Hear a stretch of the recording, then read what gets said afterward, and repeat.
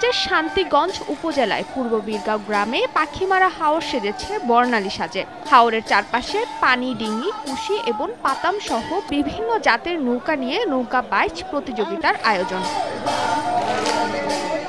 আয়োজন উপভোগ করতে আসেন শত শত নারী, পুরুষ এবং শিশু। নৌকা বাইচ উপলক্ষে পাখিমারা হাওর এবং বীরগাঁও গ্রামের সড়ক ছিল দর্শনার্থীদের উপচে পড়া ভিড়। বীর পবন, বীর হরিপুর, বাংলার পবন সোনারতরী স্বপ্নতরী, বীর বাংলা, শাহতরী সহ বিভিন্ন বাহারি নামের নৌকা হাজির হয় পাখিমারা হাওরে। জেলার বিভিন্ন উপজেলা থেকে নৌকা নিয়ে প্রতিযোগিতায় আসেন নৌকার মালিকরা।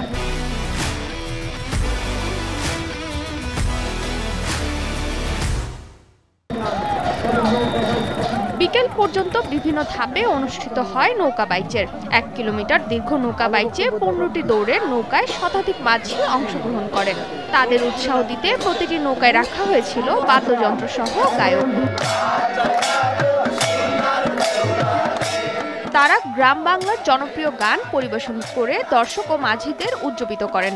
ঢোল করতাল আর লোকগানের তালে পাখিমারা হাওরে সুরের মূর্ছনা তৈরি হয়। তাই এই আয়োজনের ধারাবাহিকতা ধরে রাখতে চান আয়োজকরা।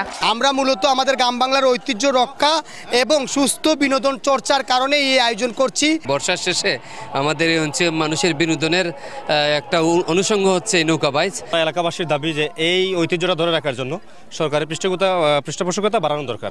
নৌকাবাস বাঙালি জাতির ঐতিহ্য, বাঙালির আনন্দ ফুর্তির একমাত্র অবলম্বন বাঙালির ঐতিহ্য বজায় রাখার জন্য আজকে বীরগাঁও গ্রামের মুরব্বিয়ান যে উদ্যোগ নিয়েছেন।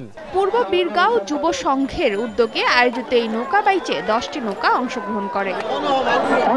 সময় সংবাদ, সুনামগঞ্জ।